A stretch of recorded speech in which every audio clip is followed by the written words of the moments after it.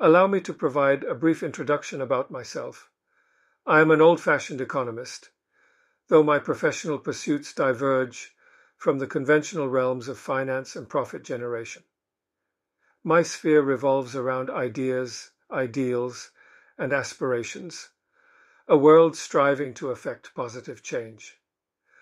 Admittedly, the drawback of working towards an ideal world is that the emphasis on financial efficiency can sometimes waver, which is precisely where my role becomes relevant. Thank you for your understanding and attention.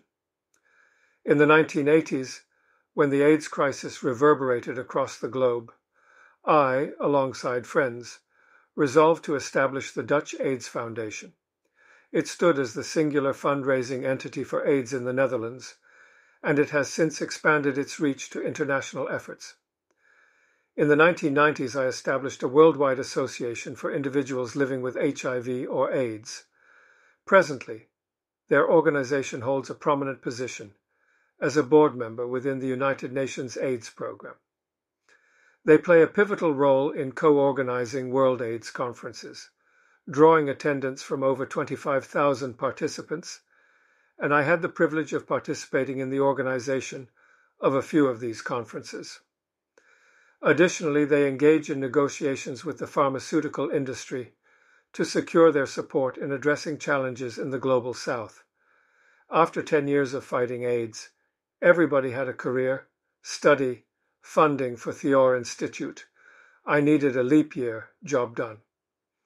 But that leap year obviously did not happen. On my way, I ran into the biggest event ever to be organized in Amsterdam that needed a sponsor raiser. That sponsor raiser would be me, raising funds for the highly successful Gay Games, 1998, in Amsterdam.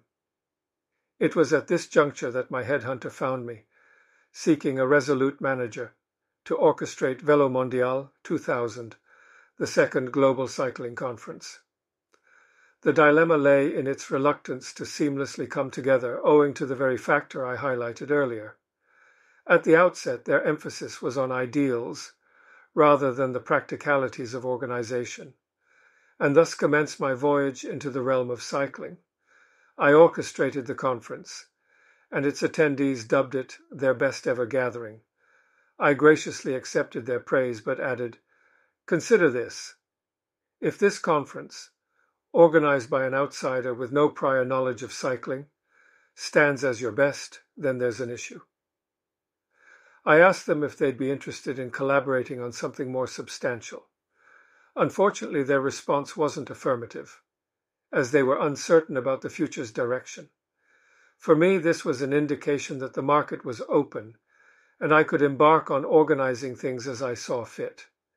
To guide my journey, I formulated two principles that have steered my career for the past 25 years. The first principle was to approach things in a manner entirely opposite to the existing norms, direct and focused on the essence. So, I declared, I'm going to make cycling glamorous all over the world. To keep myself distinct from what some referred to as the idealistic types, the tree huggers and woolly jumpers, I established my second principle. I know nothing about cycling and I intend to keep it that way. And so I embarked on my path. My initial stop was the European Commission. I emphasized that cycling deserved Europe's support. To my surprise, they couldn't endorse my ambitions. My contact explained there is no body of work. Confused, I asked, What does no body of work mean? In 2001, he explained that not a single document about cycling resided on the European Commission's shelves. He tasked me with conducting the first study on cycling in Europe and producing that inaugural document. And I did just that since then. I've engaged in numerous European cycling projects, building a network of partners that form an international community dedicated to promoting quality of life in cities through cycling.